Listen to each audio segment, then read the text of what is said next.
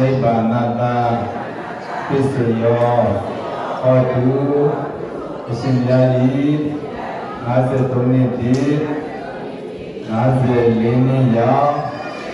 ဝိနည်းမင်္ဂလာကိုအကြောင်းပြု၍ဘု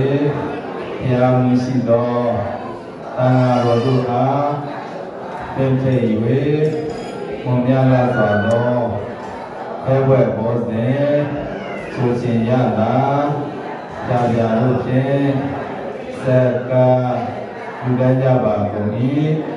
ကောင်းကျိုးချမ်းသာကျက်တည်မင်္ဂလာအပြာပြာတို့နှင့်ပြည့်စုံရပါလို့၏နိဗ္ဗာနတပစ္စယောဟောတုပါဗျာ